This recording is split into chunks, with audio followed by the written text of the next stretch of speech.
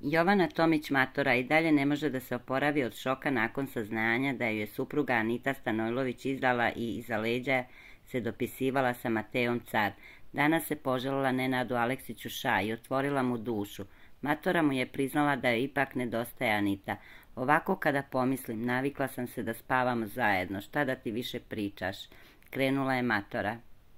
To ti je sada sveže, sve i kada te prođe taj bes, moći ćeš da porazgovaraš sa njom. Seti se trenutka kada sam se ja družio sa tobom, kada je bila ludo opsednuta sa Markom. Isto je ovo radila, rekao je Ša.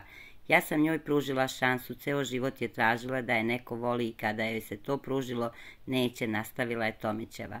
Da li je to sada radila iz ljubavi ili je, jer si joj ti bila sigurica, ušuškano je kod tebe, a sa druge strane će da radi šta ona hoće. Isto tako je sa Markom i ša buljila, dodao je ša.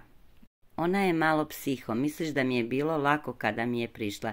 Ja sam se cepala, nedostaje mi, navikla sam se s njom da dišem. Ovde smo bile kao creva i sve mi se okrenulo, nastavila je Tomićeva. Ima i toga, navika.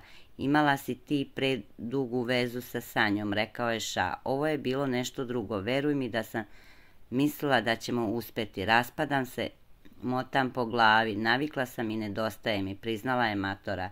Ti kada bi se pomirila sa njom, šta da očekuješ, pitao je Ša. Ma to nije opcija, ali te